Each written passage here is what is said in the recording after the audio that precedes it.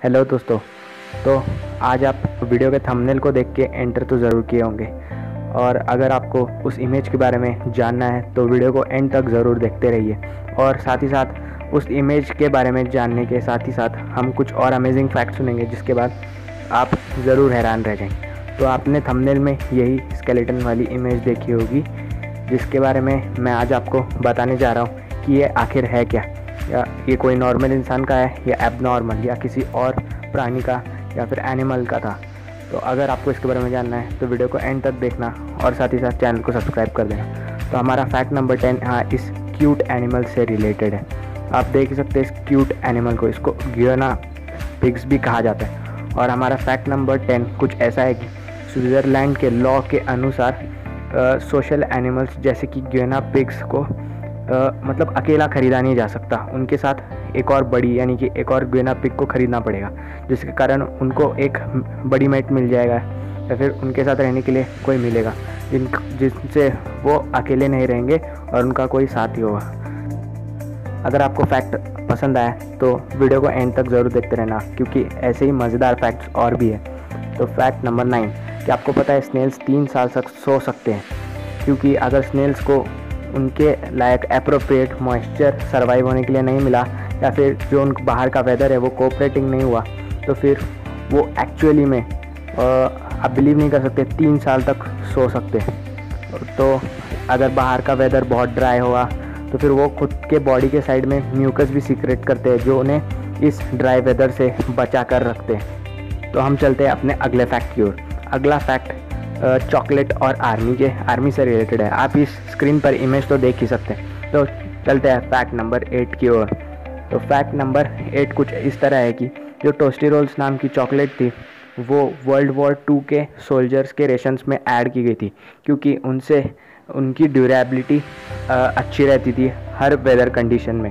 तो अगर आपको ये फैक्ट सुनकर बहुत ही अजीब लगा या फिर आप सरप्राइज़ रह गए हो तो वीडियो को एंड तक ज़रूर देखते रहना क्योंकि ऐसे ही अमेजिंग फैक्ट्स मैं आपको बताने वाला हूँ। तो फैक्ट नंबर सेवन तो हमारा fact number seven giant panda से रिलेटेड है जो आ, मैं आपको बताने जा रहा हूँ कि सारे जाइंट पांडास चाइना ओन करती है और पूरे देश वर्ल्ड में उन्हें रेंट देती है वन मिलियन पर ईयर अगर आपको ये बहुत ही अमेजिंग फैक्ट लगा और विश्वास नहीं हो रहा तो आप चाहिए तो नेट पर भी जाकर सर्च कर सकते हैं। तो हमारा अगला फैक्ट कॉन्टीनेंटल ड्रिफ्ट से रिलेटेड है। आप सबको कॉन्टीनेंटल ड्रिफ्ट के बारे में थोड़ी बहुत तो नॉलेज होगी।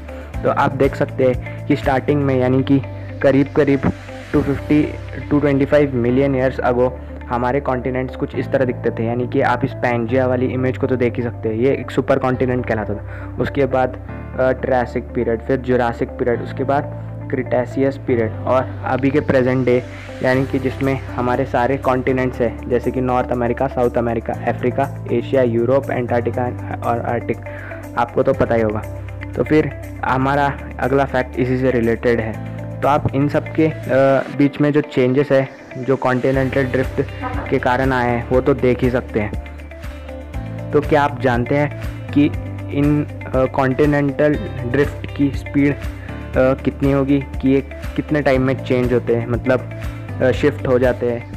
तो इसी से रिलेटेड हमारा फैक्ट नंबर सिक्स है। तो क्या आपको पता है कि ये कॉन्टिनेंटल प्लेट्स ड्रिफ्ट इतना फास्ट होता है जितना फास्ट हमारे नेल्स ग्रो होते हैं, यानी कि फिंगर के नेल्स ग्रो होते हैं, उतना फास्ट होता है। तो अगर आपको ये बात नहीं पता थी तो आज तो आप ये जान ही चुके होंगे। तो आप में से बहुत लोगों को इस पर भरोसा ही नहीं हो रहा होगा कि क्या ये सच्ची है। तो हाँ ये सच बात है। आप चाहे तो चेक कर सकते हैं इंटरनेट पर। तो हम चलते हैं अपने अगले फैक्ट की ओर। फैक्ट नंबर फाइव तो ये फैक्ट कुछ इस तरह है कि आपने एक जाइंट एलिफेंट को तो देखा ही होगा और साथ ही साथ एक बॉडी बिल्डिंग आदमी को भी देखा ही होगा कि कितने मसल्स होते हैं इन दोनों के पास। तो क्या आपको पता है कि एलिफेंट के ट्रंक में ही 4000 मसल्स होते हैं, जबकि एक बॉडी बिल्डर की पूरी बॉडी में 750 मसल्स से भी कम होते हैं। आप देख ही सकते हैं कितना अजीब और ख़तरनाक फैक्ट है। तो इसके बारे में ज़्यादा मत सोचिए, यही सच्चाई है। तो हम चलते हैं अपने अगले फैक्ट की ओर। फैक्ट नंबर थ्री तो अगर मैं पूछूँ कि एक बर्ड हवा में कितनी देर फ्लाई कर सकती है तो आप में से बहुत लोग बोलेंगे, थोड़ी देर फ्लाई करके वो नीचे आ जाती है, एक दो दिन।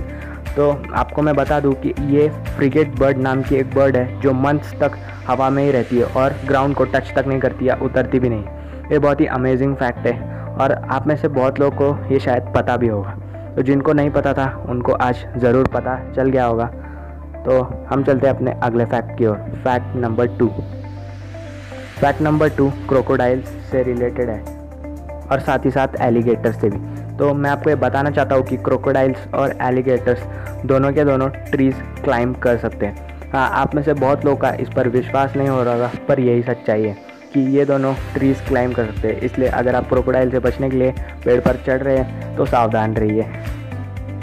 तो हम अपने टॉप फैक्ट पर चलते हैं यानी कि फैक्ट नंबर वन पर।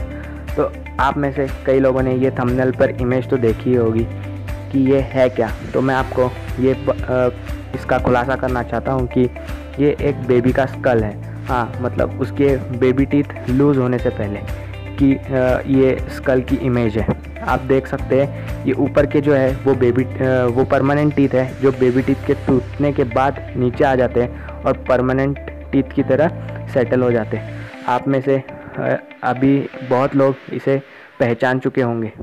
और अगर आपको ये वीडियो पसंद आया तो वीडियो को सब लाइक कर देना और हमारे चैनल को ज़रूर सब्सक्राइब कर देना।